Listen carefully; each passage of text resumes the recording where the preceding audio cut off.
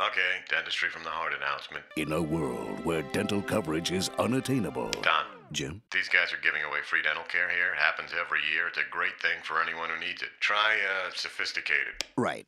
We're pleased to announce the overwhelming. Don, Jim? just read the copy, please. The office of Dr. Ajay Setya presents Dentistry from the Heart, a day of free dentistry May 3rd, 2013. Check dentistryfromtheheart.org for more information. Care will be offered on a first come, first served basis.